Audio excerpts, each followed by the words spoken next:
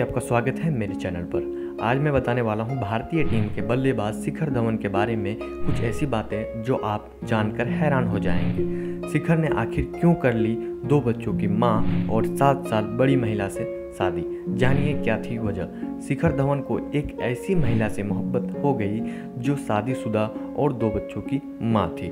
और फिर शादी के कुछ सालों बाद इस महिला को पहले पति से डिवोर्स हो गया, जो एक ऑस्ट्रेलिया के बिजनेसमैन थे। पहले पति से दो बेटियाँ थी, जिनका नाम रिया और आलिया था। तो आखिर वह क्या वजह थी, जिनसे शिखर धवन जैसे सफल क्रिकेटर को लाइफ पार्टनर के रूप में ऐसी औरत को चुनने पर मजबूर कर दिया? शिखर धवन क्रिकेट के दुनिया के बेहतरीन खिलाड़ी हैं, लेकिन अपने पर्सनल लाइफ खासकर अपने धर्म पत्नी के सिलेक्शन के पीछे की उनकी वजह जानकर आप चौंक जाएँगे। शिखर ने जिस औरत से शादी की, उसका नाम आयशा मुखर्जी है। आयशा का जन्म 27 अगस्त 1975 में भारत में हुआ।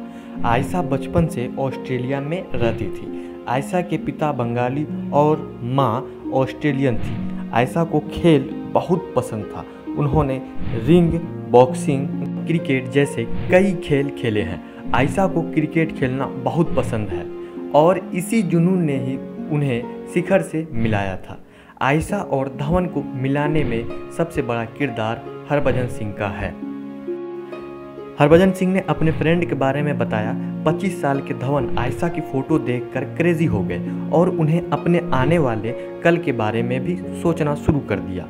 और फिर शिखर और आयशा फेसबुक पर दोस्त बन गए और फिर बातें बढ़ने लगी, दोस्ती गहरी होती गई। उसके बाद दोस्ती धीरे धीरे प्यार में बदल गई। धवन ये बात जानते थे कि आयशा उनसे बड़ी और शादीशुदा दो बच्चों की माँ है।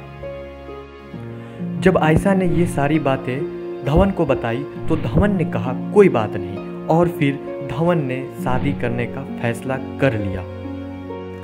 हालाँकि आयशा के उम्र में बड़े होने और पहले से बच्चे होने की वजह से धवन का परिवार तैयार नहीं था, पर किसी तरह उनके परिवार भी मान गए और फिर 30 अक्टूबर 2012 को दोनों विवाह बंधन में बंधे।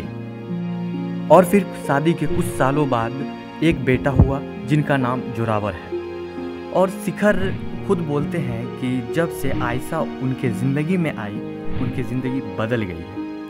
वीडियो अच्छी लगी तो लाइक और सब्सक्राइब ज़रूर कर दीजिएगा। धन्यवाद।